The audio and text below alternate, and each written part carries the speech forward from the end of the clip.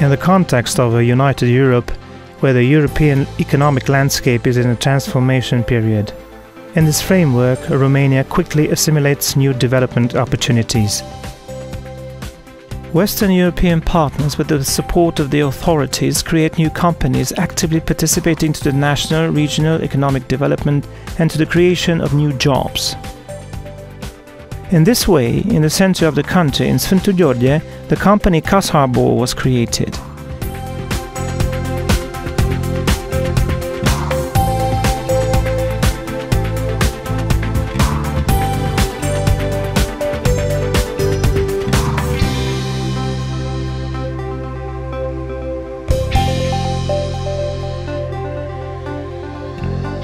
CASArbor is a mixed Romanian-Belgian company, of which the activity is the production of wooden houses, characterized by the fact that they are ecological, modular and close to the concept of passive houses.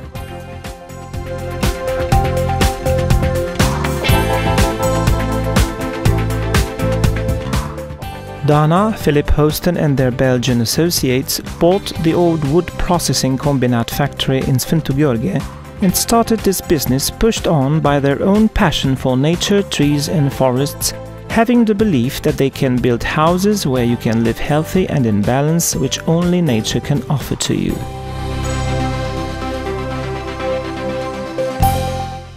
All starts from a concept and a project.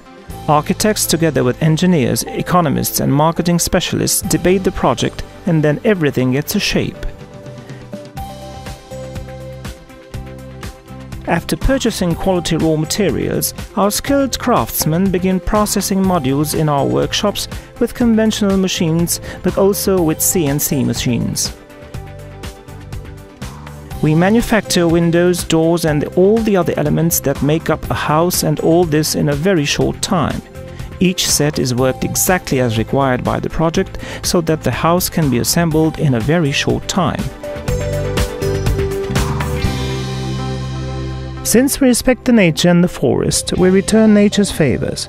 The concept of CASArbor consists also in planting each year in April one hectare of forest, which represents at least 5,000 fir and pine trees for the future generations.